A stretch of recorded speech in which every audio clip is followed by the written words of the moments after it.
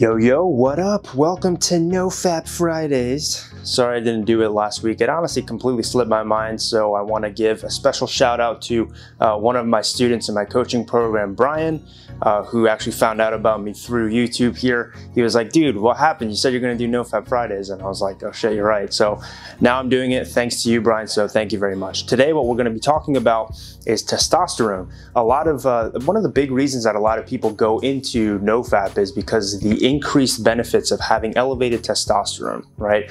Now, there's not really that many studies to show uh, the benefit of actually increasing testosterone and by doing no fap long term. In the short term, there is. There's a Chinese study that was done where people did semen retention for one week and they saw elevated chronic levels of testosterone, which is awesome. But what I want to talk to you to you here about today is to really just go to show you and provide evidence and proof, and you can come to your own conclusions about this evidence uh, that you know you shouldn't be doing no fap to increase your testosterone. In fact, I'd argue what makes a man isn't necessarily testosterone, right? That's kind of a lie that's been given to you. It's kind of half true, but half also really false. And I'm gonna get into that into this video, okay?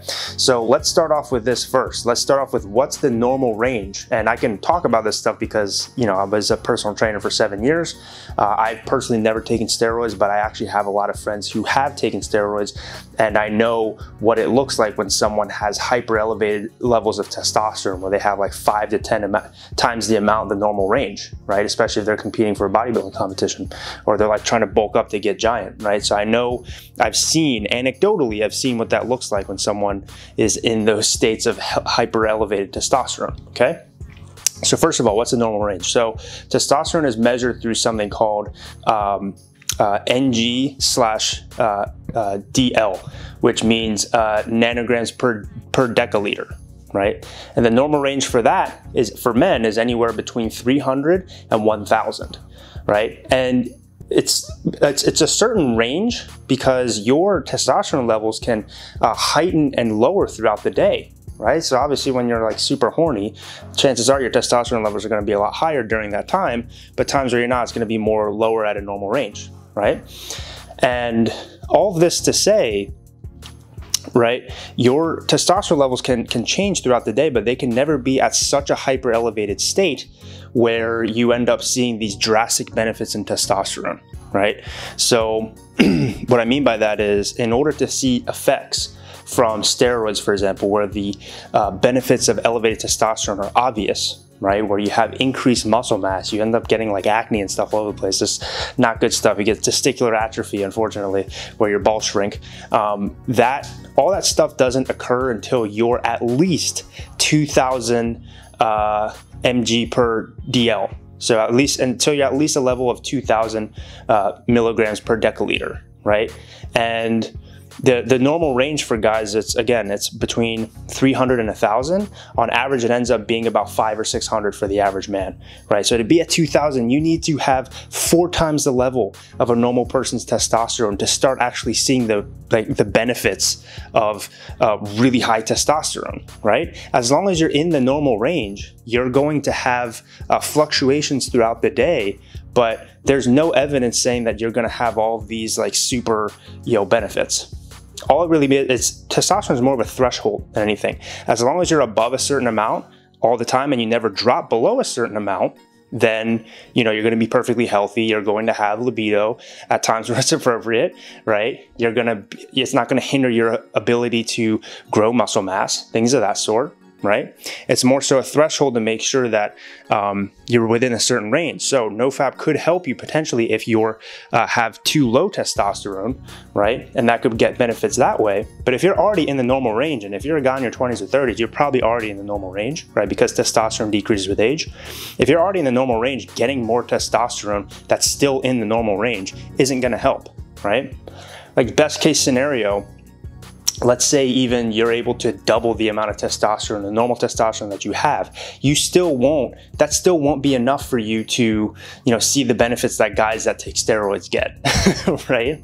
You, you just, it just won't, right? So no matter what you do, there's no way that you can elevate it by four or five times, which is the amount that's required to actually see these, uh, you know really noticeable benefits in like increased muscle mass and like hypersexualized libido things of that sort. That only happens if you're like four or five times above the range right? Above the normal range right? And and increasing your testosterone, your chronic, you know, normal average levels of testosterone by two is like best case scenario, right? Best case scenario.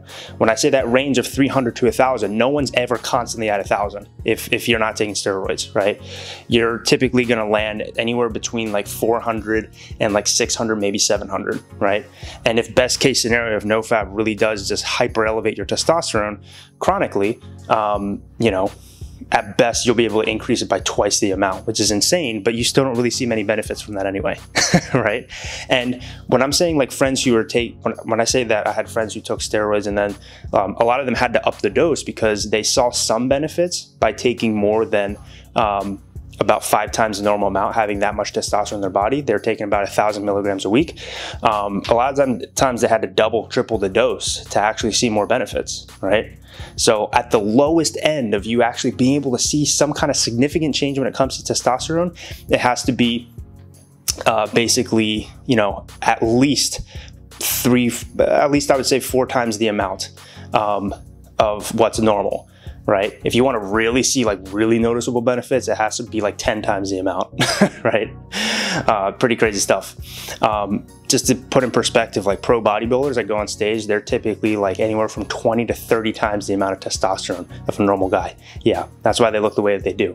So if the best that you can do is double it and you're already within that range, that's not the reason you should do no fap, man, because I hate to break it to you. No fap, there's a lot of benefits. And testosterone, like if you're really down in the dumps with testosterone, maybe that's, or you're on um, in danger of possibly um, having chronically low levels of testosterone, maybe this can, you know, ensure you're you stay in the normal range along with diet and exercise. But if you really actually have chronically low testosterone, um, you should go to a doctor and they can uh, they can prescribe you, um, you know, testosterone replacement therapy, right? And that's something that I will highly consider for myself probably like 10 years from now when I'm a bit older and my my testosterone starts naturally decreasing. But all that to say, guys, don't do NoFap because of testosterone. These are the facts. Um, you know, take it or leave it how you'd like. Anyway, if you like some more of uh, you know more science type based videos like this, which is kind of my forte with my background in evidence based fitness for about 10 years, or not 10 years, I'd say about five years uh, before I got into the realm of more overall self improvement. I still love covering topics like this. Obviously, I still love talking about NoFap. Um, so if you like this type of content, give it a like, uh, give me a subscribe and hit the bell button for future noti or future notifications of future videos. And um, yeah, leave your comments down below. Let me know what you think about this. Follow me on the IG at Kevin Ray Wallader, and I'll see you in the next video, okay? See you next NoFap Friday. Well, hopefully I'll see you before then because I'll make more videos during that time, but you know what I mean. Anyway, goodbye.